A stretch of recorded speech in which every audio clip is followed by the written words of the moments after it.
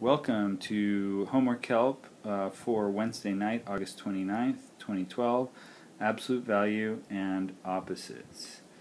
What is absolute value? Well, to start off with, let's write in a definition of what absolute value is here. Okay, I'm going to zoom it in just a bit so that I can write well. Okay, absolute value is uh, the distance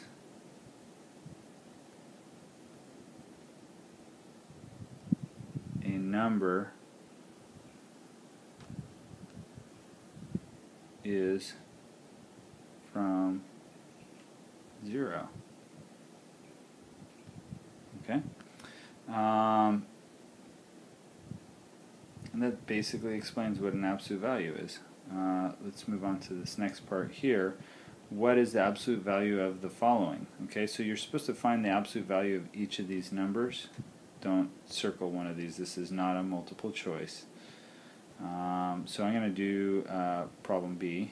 And if I say, what's the absolute value of negative 8? Well, negative 8 is 8 spaces away from 0. So the absolute value of negative 8 is 8.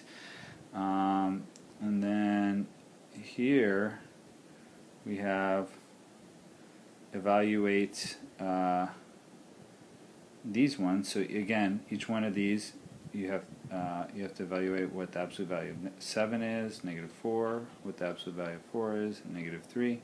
So I'm going to do uh, problem L since I did it's similar to problem B. Uh, here I'm finding the absolute value of 8 which is equal to, well, it's equal to the distance 8 is from 0. Well, 8 also is 8 spaces away from 0. Okay, so be sure and do uh, all six of these and all six of these and also answer uh, or write what an absolute value is. And then over here in the graph, we need you to complete the following table of values and then graph it. Okay, so here we're plugging in a value for x. So this one, oops, I have my pointer. There, this one goes in for x. What's the absolute value of 1? So essentially we're just finding what is the absolute value of 1. Well, the absolute value of 1 is 1. What's the absolute value of 3? Of negative 3. The absolute value of negative 3 is 3.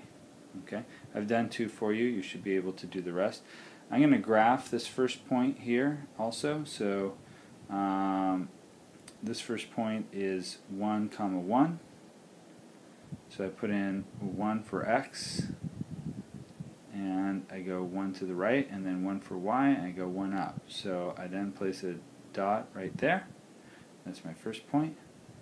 Then for this one, negative 3 comma 3, I'm going to go negative 3 along the x-axis first. We always go left or right first, and then up or down. And then I'm going to go up 3. So my point will end up my point will end up over here.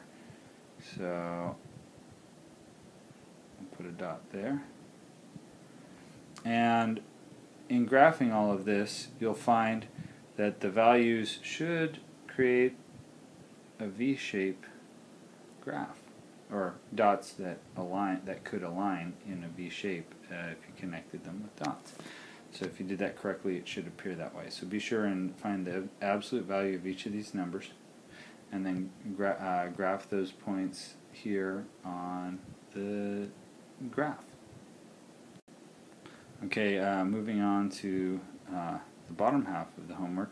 What is the opposite of a number? So again, here you're supposed to write what is the opposite of a number. I'm not going to give this one to you, but then here it says what's the opposite of the following. So finding the opposite is different than the absolute value. That's why we're showing them both to you at this time. So let's find the opposite of two of these numbers. Um, we'll find the opposite of uh, uh, negative 12 and 12. Okay, well, the opposite of negative 12 means if you take the negative sign, the opposite of a negative 12 is 12. You just find its opposite. Well, what's the opposite of 12? Well, that would be negative 12.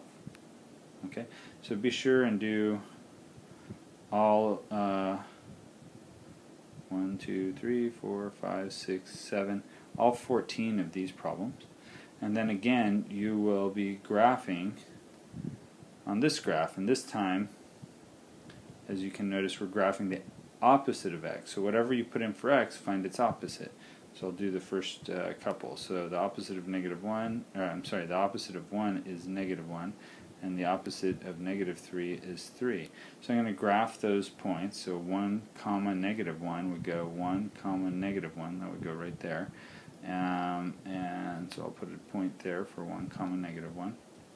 And then for negative 3 comma 3, I'm going to go negative 3 on the x-axis and then positive 3 on the y-axis. So that should end up over there. So we'll place a dot there. So you should continue doing the same with all of these points. So find its opposite and then graph it. Find its opposite and graph it. Find its opposite, then graph it. Okay, we'll move on to the back side now. Okay, this is for page two of the homework. Um, uh, let's see here. This uh, so we're doing teeth now.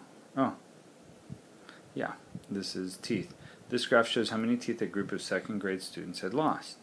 Okay, and you have the names. So this is how many teeth Ping lost, Samir, Angel, Laura, uh, Franco, and Amani. So Amani lost three teeth, Laura lost nine teeth, Ping lost six teeth, so on and so forth. There's nothing listed here for Tori, so they ask us here, number one, Tori lost four teeth. Show this on the graph. So you have to fill in the amount of bars that would correspond to four teeth for Tori. Okay. Uh, number two, how many teeth did Franco lose? Okay, so here you have to write in an answer for how many how many teeth Franco lost. Okay. Uh, on problem three, which student lost the greatest number of teeth? So here we want to find out of all of these students, which one lost the greatest number of teeth, which one has the tallest gray bar. Okay, uh, number four, how many more teeth did Ping lose than Imani? So here's Ping at 6, here's Imani at 3. So you want to show us how you can figure out how many more teeth Ping lost than Imani. Okay, a hint there would be to use subtraction. Um, and then let's see here. Uh, how many? Oh, we did number four. Number five. How many teeth did the students lose in all? So here we're going to actually have to look at our graph and count up how many teeth everybody lost, including Tori, because you should have uh, shaded in how many teeth Tori lost and write that answer here and then explain how you figured it out and you have to show your calculations okay? So this is where the points lie. If you don't fill out uh, this area down here with explanations you're not going to get any points for the stuff up here. So we're interested in you explaining to us how you figured this out okay good night and good luck go bears Roar!